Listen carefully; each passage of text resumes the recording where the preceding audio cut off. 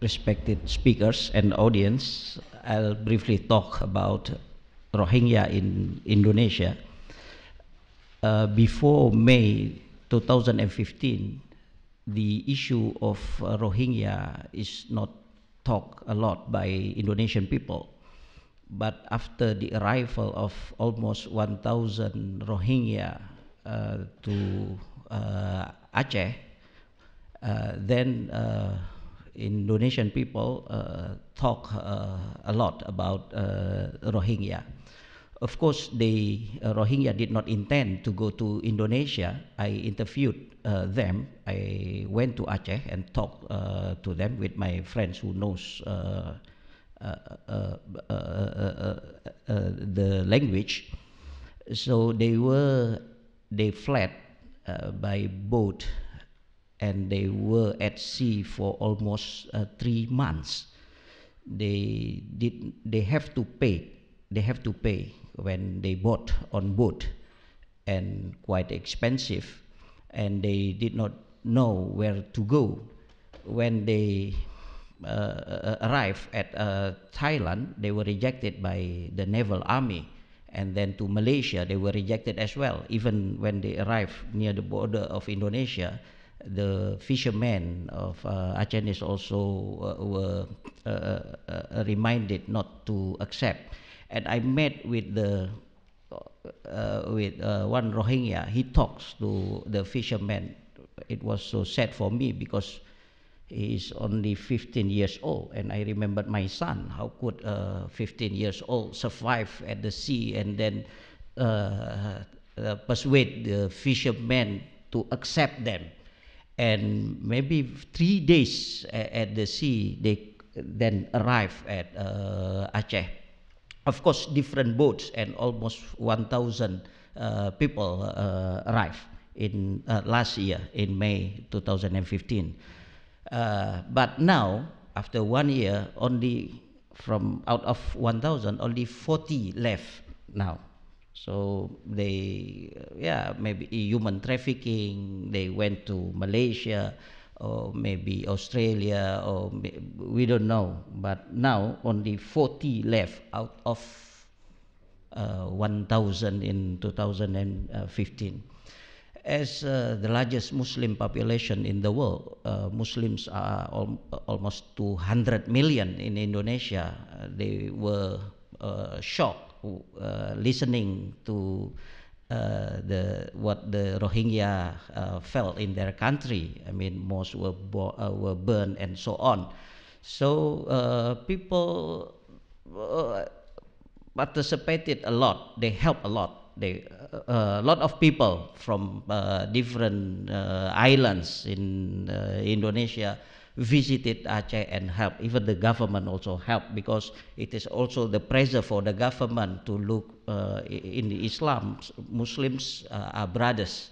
Uh, uh, uh independent of uh, the countries, so there's also a push of the government. In fact, before 2015 uh, together with Dr. Zarni also I went to uh, yeah media and met different important people in Jakarta to to raise this issue so we went to the members of the parliaments to the uh, yeah the, to the media different medias big medias and uh, of course different big uh, NGOs or Muslim organizations even Buddhist organizations to raise the issue because we were unthought.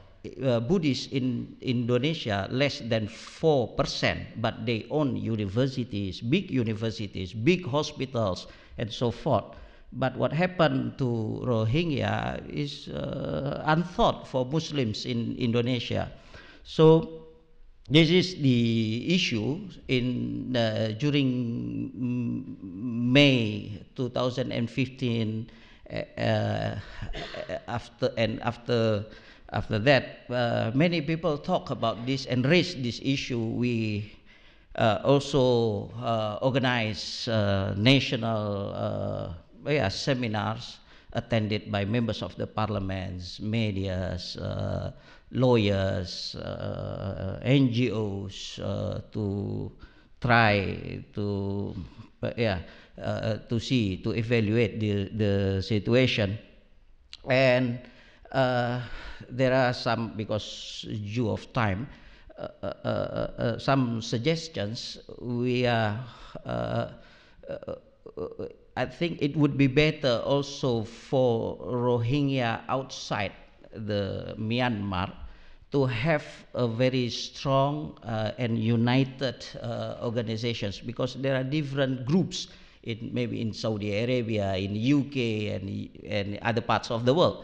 So it would be better if they have one spoke uh, spokesperson in the name of the Rohingya outside the Myanmar to talk and to address this issue. Otherwise, uh, we see different groups and maybe different, uh, yeah, uh, different agendas. So it would be better for for uh, the community for the community to see one spokesperson in the name of the Rohingya, which all other groups, uh, Rohingya groups or associations uh, overseas, they are united. I think that's uh, will uh, work. And also the ASEAN countries, uh, because we are closer to Myanmar, like this very important seminar, perhaps should be held also near Myanmar uh, or maybe in Indonesia or in, Malaysia to push the governments. Otherwise, uh, like we talk and what happened is something else.